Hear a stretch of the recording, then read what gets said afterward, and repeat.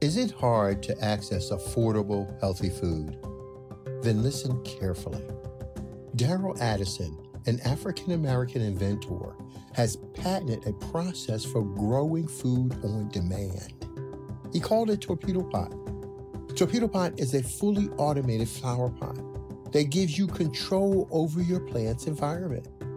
All you do is add soil, seeds, and plants to the flower pot and, and watch it grow. Yes, Torpedo Pot grows the rest. Visit www.torpedopot.com.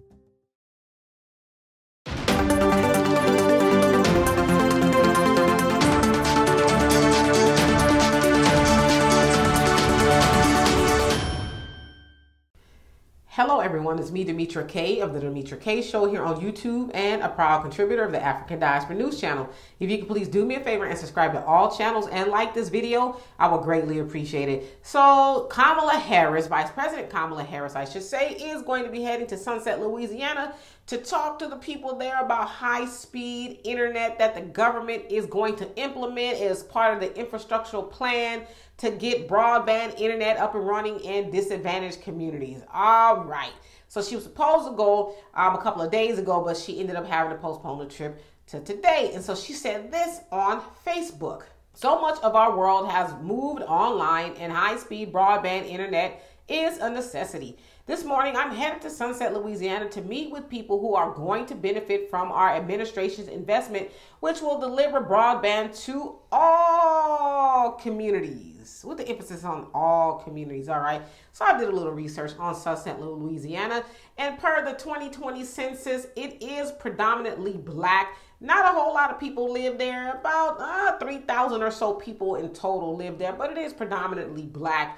And so when she says she's, you know, going there so it'll benefit all communities and all of that, well, you know, she's saying to all communities because she doesn't want other race of people to be like, oh, well, they're going to Louisiana to help get the Negroes some internet. So they have to do that all inclusive thing, right?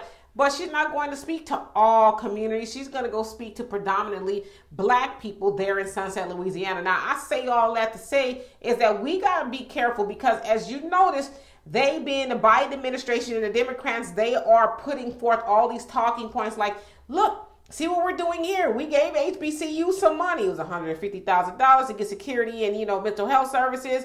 Not a lot of money. And now they're going to say, oh, we're helping, you know, all communities get internet services, but they're really speaking to that a black community. So be careful. Don't allow them to make you think that they're giving you tangibles when it really is just symbolism. They know what we want.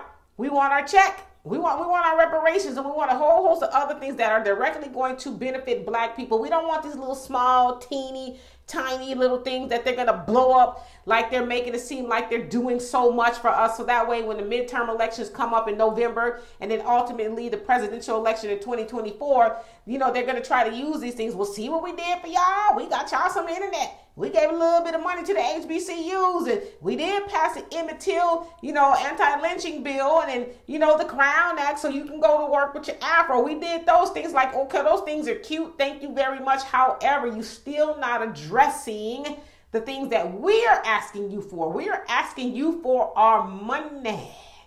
Do that first, and then we can, you know, applaud and clap for all the other things that you're trying to do for us. All right. So anyway, y'all, for more insightful commentary, please subscribe to this channel and my channel, The Demetra Kaye Show, here on YouTube.